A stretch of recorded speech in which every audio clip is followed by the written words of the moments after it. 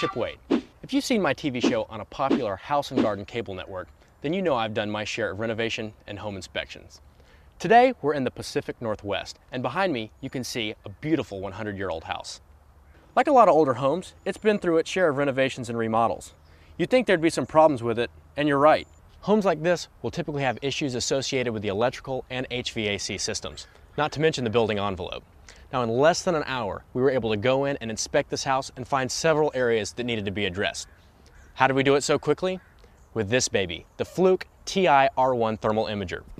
This high-tech, affordable, and easy-to-use tool is something every home inspector or renovator should have in his tool belt. Come on, let me show you how simple it is to use.